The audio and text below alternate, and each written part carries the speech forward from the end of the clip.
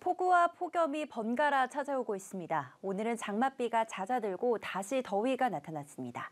남부를 중심으로는 폭염특보도 내려졌는데요. 내일은 다시 전국에 비가 내리겠습니다. 새벽에는 제주에 비가 오겠고요. 오전부터는 호남과 경남 서부에, 늦은 오후부터는 수도권 등 중부지방까지 비가 확대되겠습니다. 밤부터는 그 외 전국에 비가 오겠는데요. 특히 내일 밤부터 모레 오전 사이 강하게 비가 쏟아지겠습니다.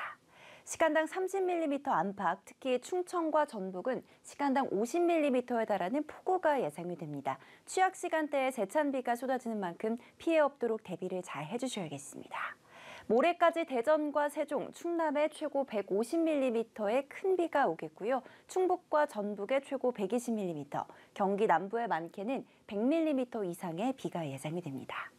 당분간 전국적으로 비가 길게 이어지겠습니다. 산사태, 시설물 붕괴 등 안전사고에 유의하시기 바랍니다. 날씨 연드렸습니다.